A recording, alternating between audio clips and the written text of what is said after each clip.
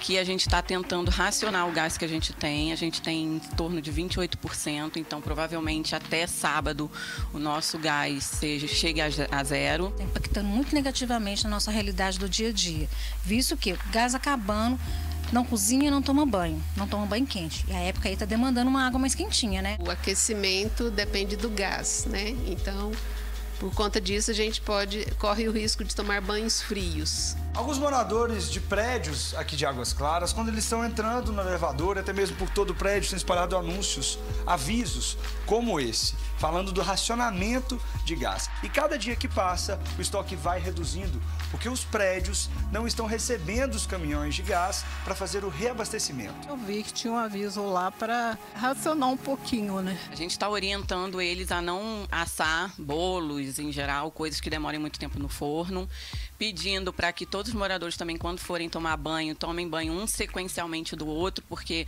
assim não, não resfria a água que tem justamente no cano para depois ter que aquecer novamente. Então isso também consome gás.